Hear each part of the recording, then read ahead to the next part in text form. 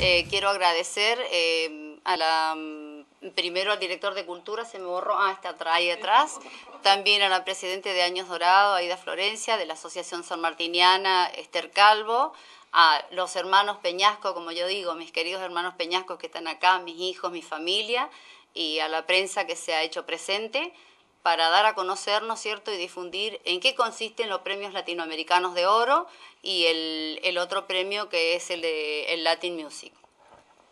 También quiero agradecer a todos los medios que están presentes. Eh, la verdad que la comunicación nos une a los pueblos, nos quita las distancias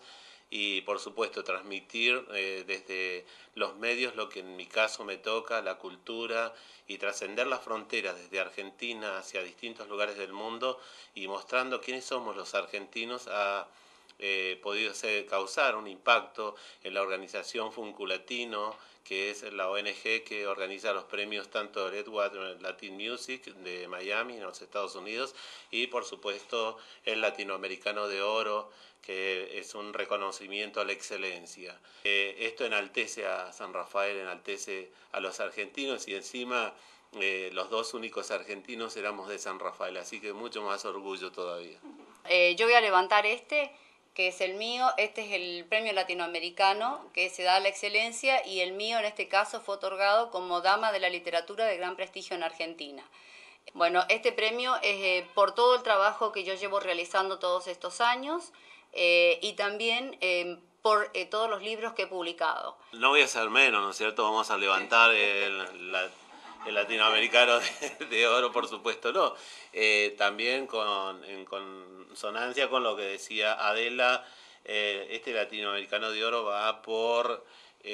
una elección que se hace de producción y comunicación en cultural en Argentina como eh, productor y comunicador del año eh, en, el área, en la parte cultural de Argentina. Latin Music, el premio se le otorga a los cantantes, pero también hay un espacio para ponentes culturales en, en diferentes rubros y nos fue otorgado un programa cultural educativo que en LB18, Radio Municipal, que trasciende nuestras fronteras, como decía al principio, en donde transmitimos todo lo que es la parte cultural, patrimonial, histórica y natural de Argentina. Es un programa federal, donde vamos tomando distintos sitios del país, eh, desde museos, monumentos históricos nacionales, eh, bibliotecas, archivos históricos, eh, sitios patrimoniales como arqueológicos, paleontológicos de nuestro país, y por supuesto que tiene una connotación con el resto de América Latina. Eh, tengo que agradecerle a la Municipalidad de San Rafael que colaboró con, eh, con una parte monetaria, ¿no es cierto?, para poder realizar el viaje y el,